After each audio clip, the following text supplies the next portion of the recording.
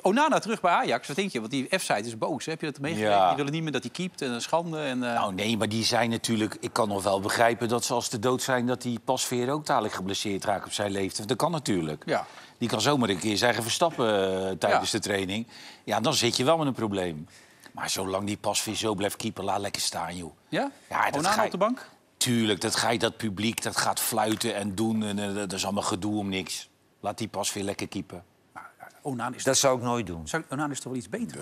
Hij is, hij is niet een beetje beter, hij Mhm. is een straatlengte beter. En dan zou de F-site het beleid bij Ajax gaan bepalen. Maar Onana kan je in, eh, in de Europese verband een ronde verder helpen. En Pasveer is iedere keer mee- meegenomen als hij goed speelt.